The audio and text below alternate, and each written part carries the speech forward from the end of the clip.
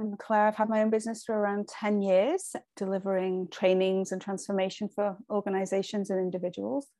I'm here to share some of the ways that the work we did together shifted my experience of my work and of my life in general. I had an interest in understanding my ego and where it came from, and then how to use it effectively or be so conscious of it that I can use it in the ways that will serve my life rather than just having an unconscious effect on it.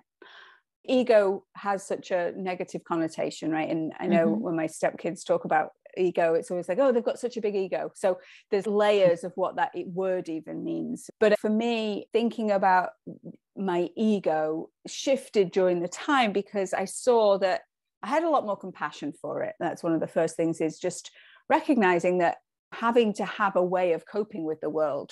we need tools and strategies, and the ego's just practiced a lot, easy to use. It doesn't make them bad inherently. So I got a different relationship with it. It's just really good to know the difference. Oh, I'm using that tool again.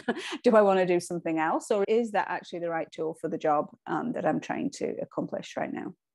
That's really cool. What was the most powerful thing about knowing your ego inside out? Most powerful thing it did was actually to feel myself without it, to really be able to recognize that true essence of who I am and gave me a method to to access that. It's not that I'd never felt true essence myself, but having the language around and a map how to access it and what all of those other things are. Oh, they're they're, the, they're my ego, they're my mechanisms and habitual things that I do. The biggest thing probably was just giving me more access to who I actually really am and what I'm here for, and be able to recognize when anything that isn't that is showing up.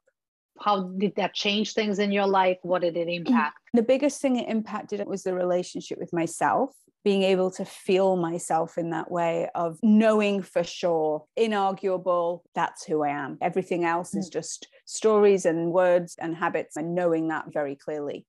And being able to do that means that when things are harder, like for whatever reason, challenges come up, that I could just remember that. And it was just like having a source to plug back into. And that was a shift.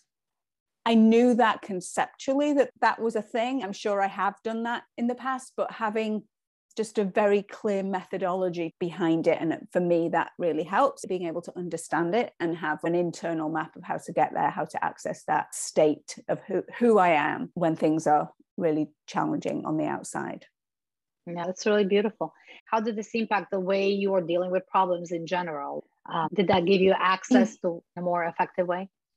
Yes, definitely. Always being able to remember that this is who I am. Underneath everything else, all the different things that came up, challenging work situations, business being very challenged because of the pandemic and so on, not being able to trust anything on the outside, really. Everything was changing and not being very reliable on the outside. Having access to that, the thing that is reliable, like I know that for sure, my essence is reliable. There isn't anything that can change that it gave me stability and consistency when everything else wasn't consistent. You're somebody who's done a lot of work and who's curious, a leader and teacher. Who do you think this work would be the most beneficial for?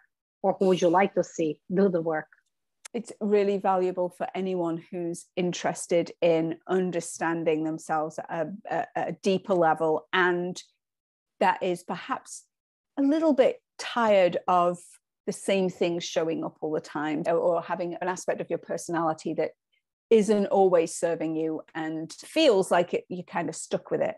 What this work does uh, in that case is just have you really understand that we're not stuck with it and, it and it's a choice and it's still a choice you can make but it's not the only way.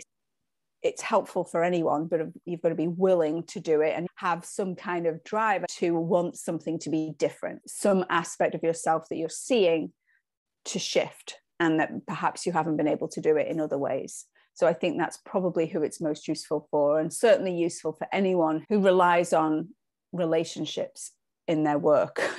if relationships are a big part of how you contribute to the world, then knowing how those habitual patterns are showing up in those relationships would certainly serve you in, in powerful ways. Definitely, because you have access to your part and what you can do to change. Right. You have a few words of wisdom as to what they can expect. One of the first steps is writing a life story and really looking at your life in as much detail as you can. And for me, that wasn't easy. And I didn't think I remembered a lot, and I wasn't sure I wanted to really rem- remember. It was in itself a really fascinating and beautiful experience. So I would say go in with an open mind towards the places that you feel you might be resistant, be willing to just keep going and be gentle with yourself and stay with it and know that there's something else on the other side of it more freedom and giving yourself time and the gift of Marija to help you explore what you're here for what was your purpose in coming on this trip. Is such a gift. You'll never not have it it's something that mm. you can just continue to rely on. You'll always have it. So so worthwhile. beautiful. Thank you so much. You're welcome